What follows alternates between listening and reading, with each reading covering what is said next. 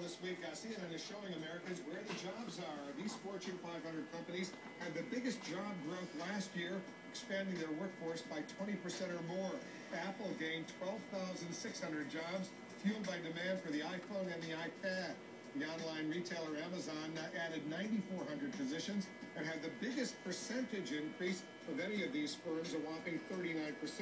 The Las Vegas Sands Hotel and Casino Company also is uh, on the list of top uh, job hirers, along with online giant Google, clothing maker Levi Strauss, uh, the natural gas and oil firm Chesapeake Energy, and the government-backed lender Fannie Mae.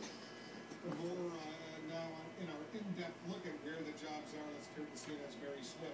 She's got more useful information. Mary?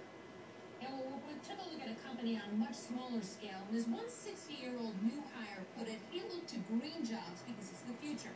But as we found out with one green energy company that's small but expanding, it's not always easy to fill the jobs.